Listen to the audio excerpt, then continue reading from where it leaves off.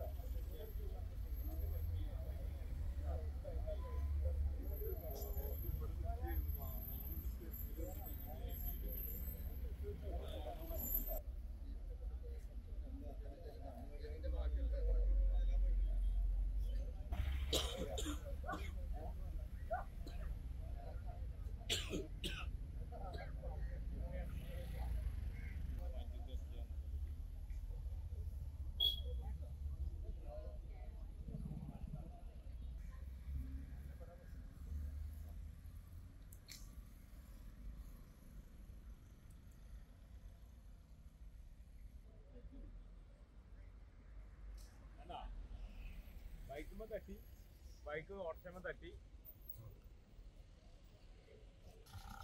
ചെക്കന്മാരുടെ കാരണക്കന്മാരുടെ അറിയില്ല തോന്നുന്നു